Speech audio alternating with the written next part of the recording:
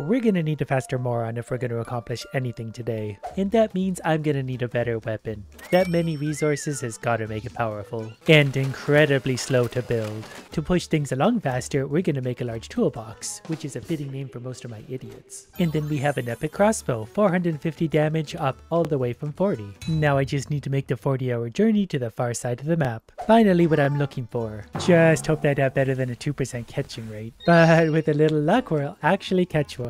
And we got a second one and since I made the journey, we'll go ahead and take a third one. And luckily I already have the materials I need to ride the flying Pikachu. This actually feels a lot faster so I'm thrilled.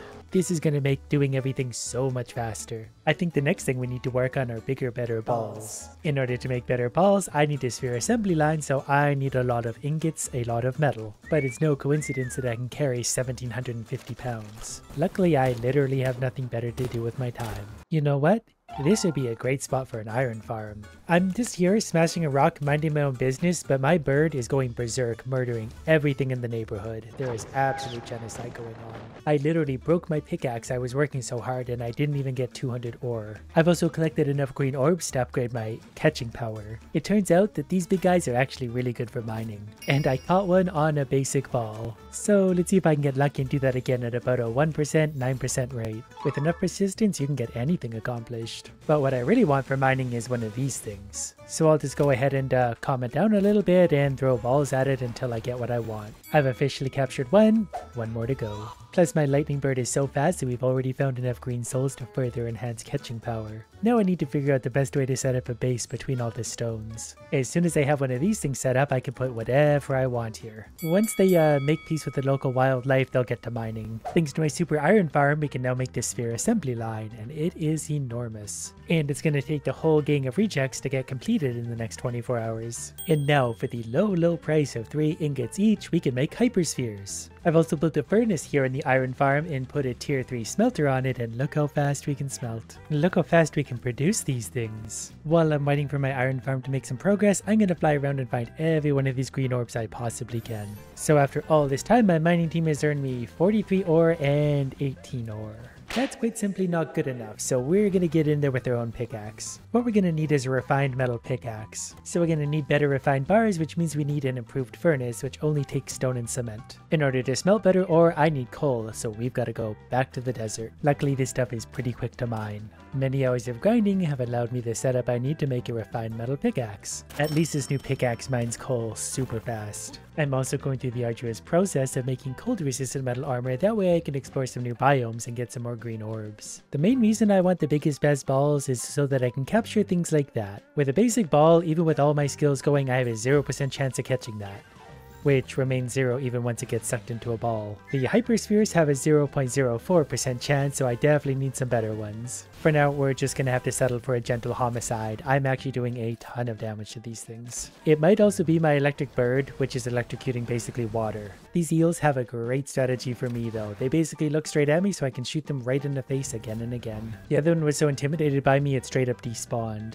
So that thing in a weakened state still only has a 2% chance to get caught, so I'm not loving my odds. But you don't know if you don't try. Apparently I'm a little hot because I'm literally on fire. Well, it did at least level me up. It turns out there's a boss version of the flying Pikachu that I like to ride. I'm uh, I'm gonna see if I can go ahead and capture one of these. And it's gonna be very hard to do with the basic balls that I have.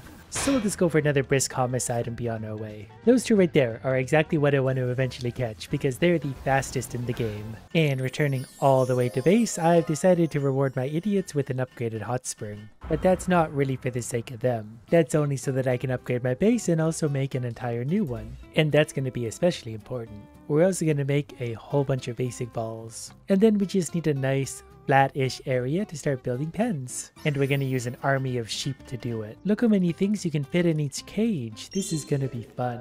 And I feel like the sheep are really gonna appreciate this because we're gonna fill that cage with humans. A lot of humans.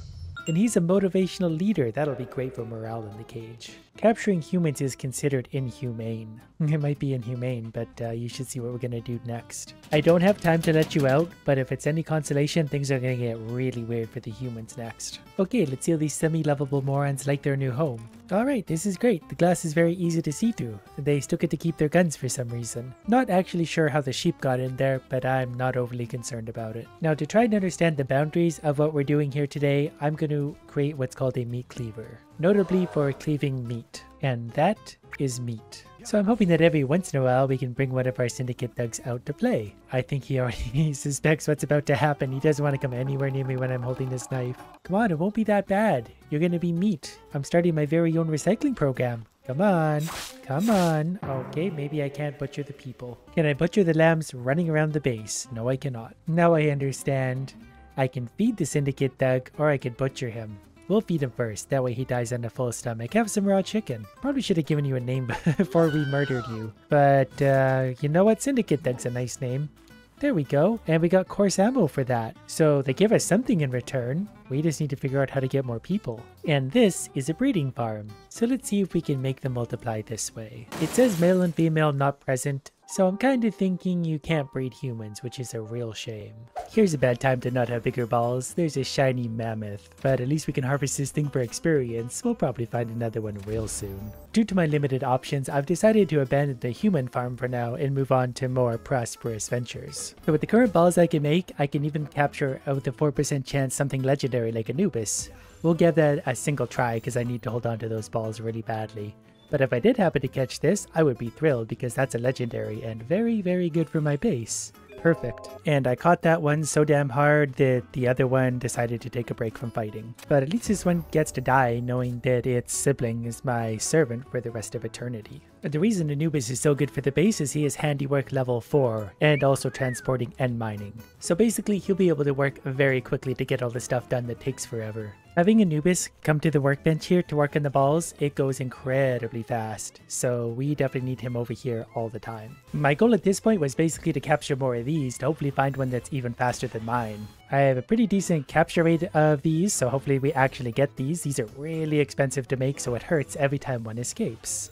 So far we've caught zero, but there's one and hopefully two. At the very least I'll get some experience and level up, but I'm going to depopulate the zappy birds of this entire desert. I've learned that if I get these guys just to a sliver of health, I have a 100% catching chance with my super balls. I have learned that if I find the black market guy, I can actually sell people. And because I'm deeply insecure, I want to try and get a hold of these jumbos, that way I can ride something bigger instead. Luckily they get a 100% capture rate even if they're like 25% health. That one's a muscle head, so I might be able to breed these into something better. 100% capture rate, get in my ball. That one's destructive. I don't think we're going to use that for much of anything. So our little outing has yielded us 12 of the Zappy birds. While I didn't get the speed boost I want, I will settle for something like a big bird with muscle head. And using our Pal condenser that we built a long time ago, we can actually sacrifice these old ones and condense them all into a better one. Once I have 9 more of these to capture and sacrifice at least. But it is, at least for now, a 1-star Beakon, and it will level up great, but the more we condense, the stronger that's gonna get. No wonder nothing gets done around here. Every time I look, someone is somewhere stupid, not doing anything at all. I've also come to realize that if there is one thing that's gonna make this adventure a little easier, it's an assault rifle. And look how fast it gets made once Anubis gets his hands on it. The assault rifle does 320 damage, which is less than a crossbow, but it fires a lot faster. I have limited ammo, so consider this an honor. One quick shot, 11,000 damage.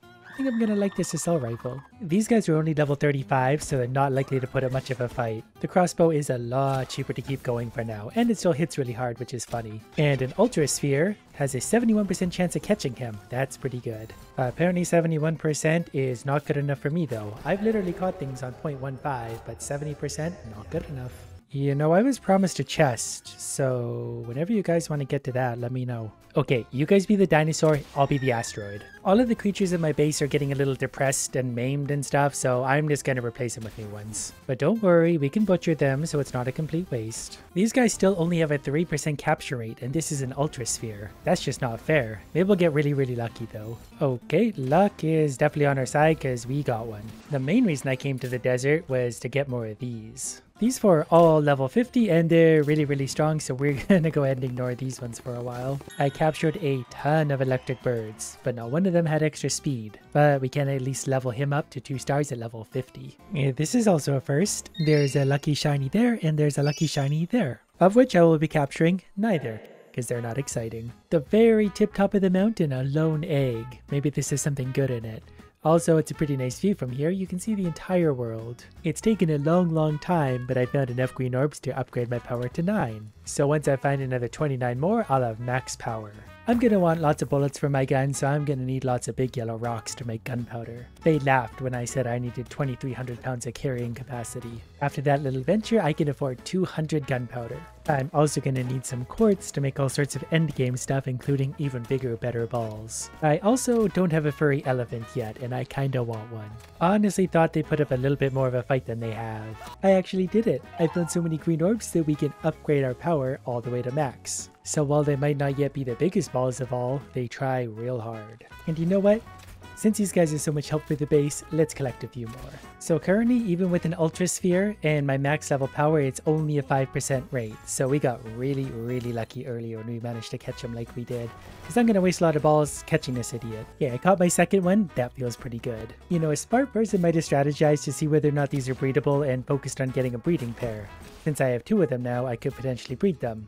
But we need a smart person for that sort of thing. Pretty sure I also hit level 50 after defeating the last Anubis. After grinding and grinding and grinding, I've got the stuff I need for one electric furnace. Everything at this point should take insanely long to build. Luckily Anubis is really knocking that time down. And this beautiful smelter is able to make Palmetal, which can be used to make the biggest balls of all. I already have a lot of the pieces I need, I definitely need more cement and more fragments. So at this point I am more or less going to be abandoning my mining base to bring this smelting back to the main base base because I need electricity to smelt anyway. And if there's one thing I do love, it's abusing the electrical birds. So already we can actually make this many palmetal ingots. I'm only held back by ore, which is actually really easy for me to get. And just like that, we're ready to start making legendary spheres. And those are also our first legendary items. And both Anubises are actually coming to help for once. So that's actually going to get made almost instantly thanks to all that manpower. I feel like a ball like this is going to give me way too much confidence. That and combined with the fact that I have almost 400 assault rifle ammo, we're in good shape. It's a slow process so far, but it's going quicker than I thought it would, considering how endgame these are. But with just a little bit of running around, I can already make another 61 pals, which is going to make 12 balls. And after all the hours I spent grinding the past few days, I think I've earned myself a sword. So let's give it the damage test. 18,000 seems adequate. I also didn't realize this whole time I could have been using those pals I've been collecting forever to upgrade my pets. But now that I have a whole stockpile, I can upgrade these strong pets. Like I've made my Anubis 24% faster. Yeah, made my Anubis 30% faster on his work speed. He's gonna be insane. And for the first time in all this, I'm gonna do something to protect my precious head. When these idiots can actually find where they need to work, this stuff goes quick. That gives me 100 defense and 250 health. But the whole reason I've been grinding this whole time is for these guys. So if I was to try and capture them now, not a great rate. So we're gonna have to do some damage to them while they're doing damage to me, but that's why I brought my gun, which actually whittles their health down pretty good. These guys are actually sort of insanely strong considering I'm on like mega easy mode right now. Okay, perfect. I summoned the giant penguin. He's uh, distracting the giant dragons for me for a moment while I try and whittle them down to a uh, successful level. I've also managed to light myself on fire, but this is all going very well. We just need them to hold still for a second like that. and need to not get laser beamed into oblivion. Uh, these guys clearly have a lot of armor considering how much damage this does to other creatures and it does double digits to these guys. More machine gun to the face, got him down to, I don't know, 15% health. Normally at this point I would pull my uh, other pet away so he doesn't accidentally kill this guy, but I don't think my pet is up to that. I can use my crossbow so I don't accidentally overfire on this one. I need him just a little more damage before I try and start balling him. Okay, with him at like no HP, I saw actually a 25% chance I will take all day long. Can we get more of that? 9%? I don't know what I'm throwing at. So far, he's escaped the 25% chance, but it should be like a 1 in 4, 1 in 10. I don't know what it's telling me. Please get in the ball. Please get in the ball and stay in the ball. The other tricky thing is, it's hard to tell them apart sometimes. They start scrambling around like that, and then I lose track, and I've almost thrown the ball at the wrong one a bunch of times. Please get in the ball. Okay, so 1 in 10 and 25% seemingly are both incorrect stats. Oh, we might be getting them here though. Come on, one more. Do we have him? I think we got him. We got our first Jet Dragon, Legend and Divine Dragon. Uh, I'm definitely going to double down and see if I can also get this one, just because I can, although we're running out of bullets for our gun, which is insane. We put a lot of bullets into the dragons. Okay, when in doubt, just get in there with your sword. They seem to get close enough, I might actually be able to sword them somewhat, or maybe not. Well, now I don't really know what to do. The crossbow does some damage, but he's still got 6,500 HP, and I'm hitting for 60 when I manage to hit him. You know what? I've already put like 20 hours into grinding up to this point, I'm gonna go ahead and take this as a victory. I think I'm gonna enjoy having this one. He's a dragon, we haven't been able to combine more of him into himself, but he does have 11,000 HP. He's also quite good at gathering for some reason. And because he's got the legend, he's 20% attack, 20% defense, 15% movement speed, which is just fine by me. I've already set him on fire. But before I do anything, I need to make him his missile launcher, which uh, is gonna take a lot of stuff. Now it's funny because to make the missile launcher, which is a level 50 item, you need refined ingots, which are kind of easy and quick to make by this point. Here I am, minding my own business, trying to get some coal, and there's a giant war going on around me. Absolute morons, I just want to get some coal. They probably got some good drops anyway, so he'll die to the sword. He'll actually die really quickly to the sword. This thing does damage. My base is also currently being raided by a bunch of idiots, so we're gonna send Jet Dragon down to uh, take care of them. I feel like he's probably going to make short work of them, considering they're level like 28. Yeah, he's pretty much already got them wrapped up. There's just a lot of them, so it's hard for him to hit them all all at once, especially at this clunky uh, angle we're fighting on. I just realized one of my Anubises is a lot bigger than the other. Also, they're tearing through circuit boards together. Now, the second legendary item I'm going to get is the missile launcher, or Jet Dragon. Even with Anubis, this is going to take a long time. Okay, it turns out that Jet Dragon is in fact incredibly fast. I'm a fighter jet. I'm just a fighter jet. Now, we can also fire the missile launcher so we can rain down a salvo from above.